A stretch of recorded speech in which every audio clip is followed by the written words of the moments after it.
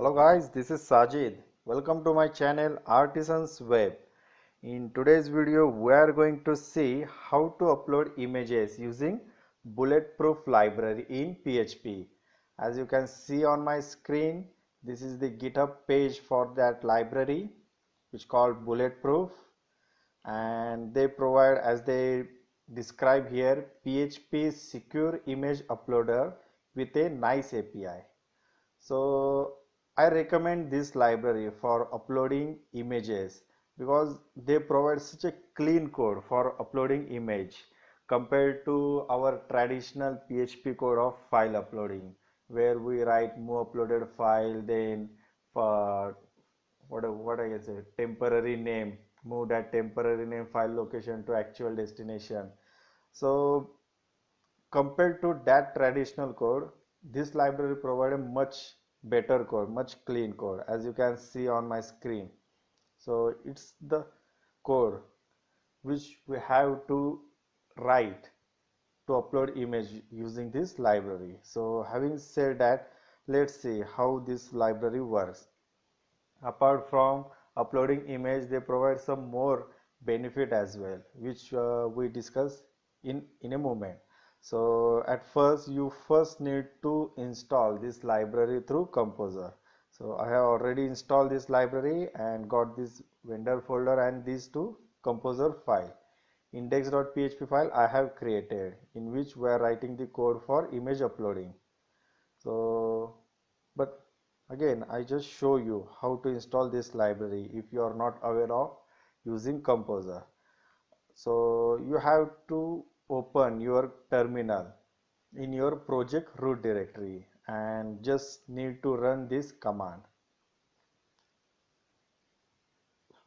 This one composer require that's it.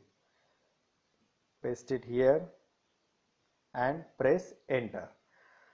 Uh, composer will install that library for you. So we have already installed it so we are not going to press enter. So I will paste uh, URL of this page in the video description below and I have also written the blog on this same topic. And from where you can get the code for this library. So let's see. So this is my simple HTML form and I have written the form tag here. I have taken one input type file and one submit button. That's it so here is my form comes. Where it is? Here. Now while uploading file we need to take some uh, precautions while uploading file. Like uh, we need to allow only images file to upload. Second one is we need to create destination folder. And third one is we should take care that file name should not get repeated. If it is get repeated then previously files with the different content gets override. So it's our responsibility to generate unique file name while uploading. This library handles all these scenarios. So on the click of submit i have written this code. First of course we need to include vendor.php file as we have installed this library through composer now on the click of submit you just need to create instance of bulletproof images class. And then on this instance we write the methods of our file uploading. Set location method means here we need to pass our destination directory path. Here I am just pass uploads directory. So why after uploading file you will uh, notice one folder get created here with the name we have passed here. And under that folder uh, our file get uploaded. Now next one is image of pictures. It is the name of our file input. And this is the method which actual upload file under your destination directory with the unique name.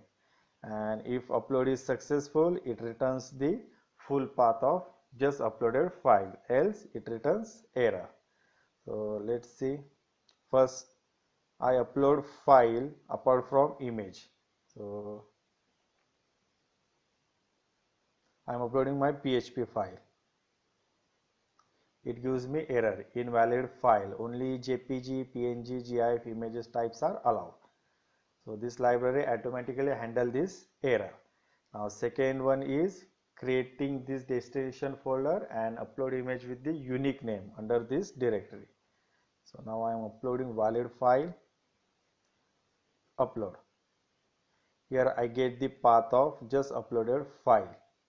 And if i go to my directory here uploads folder gets created and under that yeah bulletproof library upload the upload the image with the unique name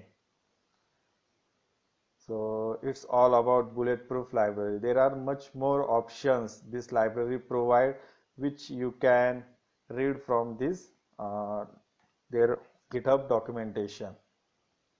Like we can set uh, name for our image size MIME type.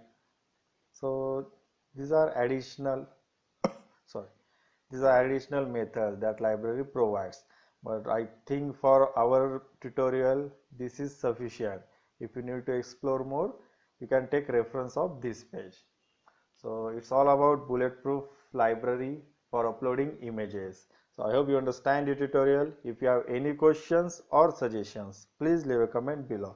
Thanks for watching video. Have a nice day.